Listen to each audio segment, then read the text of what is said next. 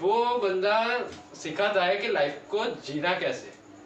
कि हम लोगों को क्या होता है लाइफ की पड़ी नहीं होती, कि हमारे पास बहुत लाइफ है टाइम भी बहुत है। हमें प्रेशर आ जाता है स्टूडेंट के ऊपर। उसके बेस ये मूवी बनाई गई है कि हमें इतना प्रेशर दिमाग में नहीं लेना चाहिए।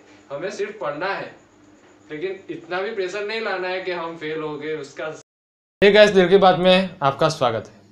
गैस आज मैं जो आप बात करने जा रहा हूँ, वो है मूवीज़ के बारे में। वैसे तो मैं मूवीज़ के बारे में ज़्यादातर बात नहीं करता, लेकिन आज मैं जो बात करने जा रहा हूँ, क्यों कर रहा हूँ? क्योंकि ये दो मूवी है जो आपको लाइफ में एक बार तो देखनी चाहिए। मैंने देखी है। मैं जितनी भी बार ये ये मूवी को देखता हूँ तो कुछ नया ही सीखने को मिलता है। जिसमें पहली मूवी है आनंद, और दूसरी मूवी है थ्री इडियट्स थ्री इडियट्स तो शायद सबने देखी होगी, लेकिन आनंद मूवी आप लोगों ने, बहुत लोगों ने नहीं देखी होगी। तो लाइफ में एक बार आनंद मूवी ज़रूर देखें क्यों? क्योंकि आनंद मूवी में राजेश खन्ना का जो रोल है, वो हार्ट को छू जाता है। वो बंदा सिखाता है कि लाइफ को जीना कैसे। कि हम लोगों को क्या होता है लाइफ की पड़ी नहीं होती, कि हमारे पास बहुत लाइफ है टाइम भी बहुत है, लेकिन उसमें राजेश खन्ना एक एक पल को जीता है। अपना टाइम वेस्ट नहीं करता, हर पल में वो खुशी ढूंढता है।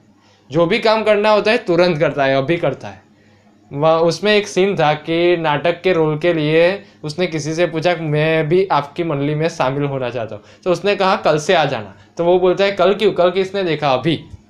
मैं अभी आऊँगा रिहर्सल के लिए।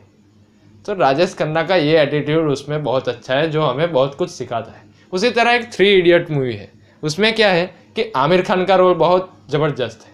वो हमारे जो स्टूडेंट लोग हैं, उनको ज़्यादा हेल्प करती है ये मूवी इसमें क्या है कि हम जो एग्ज़ाम में प्रेशर आ जाता है स्टूडेंट के ऊपर, उसके बेस ये मूवी बनाई गई है कि हमें इतना प्रेशर दिमाग में नहीं लेना चाहिए। हमें सिर्फ़ पढ़ना है, लेकिन इतना भी प्रेशर नहीं लाना है कि हम फेल हो गए, उसका सारा टेंशन लेके क्यों घूमें? आगे सिर्फ़ मार्कशीट पे ही हमारी लाइफ नहीं टिकी हुई। पढ़ लिख के तो सिर्फ़ हम डिग्री हासिल करते हैं लेकिन लाइफ में जो आगे की चीज़ है आपने एक बार नोटिस की होगी अगर थ्री इडियट्स देखी है तो जिसमें राजू है उसने इंजीनियरिंग की लेकिन आगे जाके वो राइटर बना फरहान है उसने भी इंजीनियरिंग की लेकिन आगे जाके वो फोटोग्राफर बना।